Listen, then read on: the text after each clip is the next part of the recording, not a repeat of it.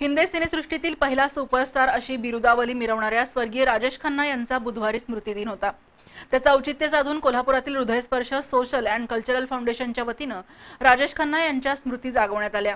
राजेश खन्ना यांच्या जीवन प्रवासावरील चित्रफीत दाखवून विविध गायकांनी त्यांच्या चित्रपटातील बहारदार गाणी सादर करून रसिकांना मंत्रमुग्ध केलं.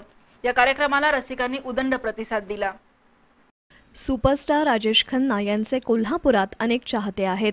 या चाहत्यांना सांस्कृतिक मेजवानी देण्याच्या उद्देशानं हृदयस्पर्श सोशल अँड कल्चरल फाउंडेशनच्या वतीनं राजेश खन्ना यांच्या स्मृतीप्रित्यर्थ सांस्कृतिक कार्यक्रमाचं आयोजन करण्यात आलं होतं.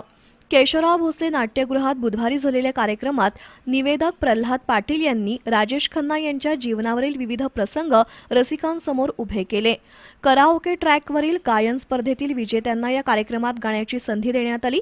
संजय गायकवाड उदय सूर्यवंशी शिवराज सावंत यांनी राजेश खन्नांच्या चित्रपटातील सुरेल गाणी सादर करून उपस्थितांची वाहवा मिळवली. कोल्हापूर आणि पुण्यातील गायकांनी तब्बल पाच तासाहून अधिक काळ एकापेक्षा एक गाणी सादर करून रसिकांचं मनोरंजन केलं. हृदयस्पर्शचे पद्माकर कापसे पद्मिनी कापसे यांच्या पुढाकारानं ही अनोखी मैफिल रंगली.